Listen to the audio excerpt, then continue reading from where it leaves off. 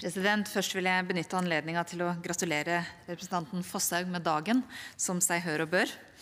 Eh, så skal jeg gå over til å dekke noen temaer som for så vidt også har vært oppe i debatten. Men jeg er litt overraska over at utenriksministeren heller ikke i innlegget sitt, og hun hadde et minutts taletid igjen, så det hadde vært mulig, adresserer noe av den tematikken som flere her har vært inne på, nemlig hvordan endringene som skjer i EU nå påvirker Norge og vår eh, evne til å ivareta eh, norske interesser, og hvordan vi best kan posisjonere oss for et godt samarbeid med EU.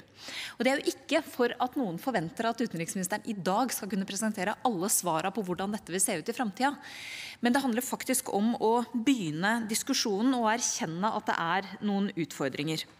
Det er helt åpenbart som flere har vært inne på, at Nato er vår sikkerhetspolitiske tilknytning. Det er like åpenbart at ingen har interesse av å duplisere Nato og EU. Men det er altså ting som skjer som får betydning for oss. Det diskuteres ting som berører vår utenriks-, forsvars- og sikkerhetspolitikk på arenaer der vi ikke er. Og Et viktig eksempel på det er jo da EU diskuterte sin nye Arktis-strategi. Det var en diskusjon vi ikke var med på, men vi måtte bruke masse tid på å diskutere med våre gode venner og partnere i Norden, sånn at denne strategien ikke fikk en utforming som ikke ivaretok norske interesser på en fornuftig måte. Så president, Spørsmålet er bare hvordan vi forholder oss til endringene. Så president, vil jeg på vegne av Høyre si at vi kommer til å støtte med alt vi har den jobben regjeringa skal gjøre på kondisjonalitet, rettsstatsprinsipper og demokrati eh, på EØS-midlene.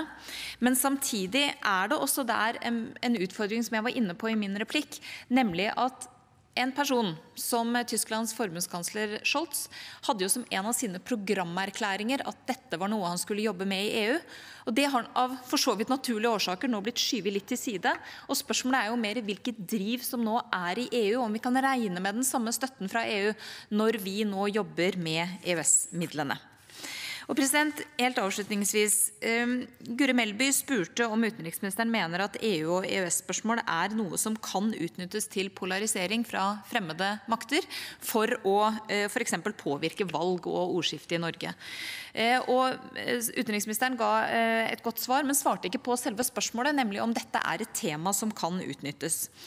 Og Jeg vil president, også her understreke at dette handler ikke om ja eller nei til EU eller EØS. Mitt klare ja-standpunkt til EU kan like godt utnyttes som et klart nei-standpunkt til EØS. Poenget er at legitime politiske standpunkter, som å være mot EØS-avtalen, kan utnyttes av aktører som har illegitime hensikter. Eh, og jeg tror president, at vi må være klar over at EU-EØS-saken eh, e i Norge er en sånn sak som fort kan ta fyr, for å bruke et sånt begrep.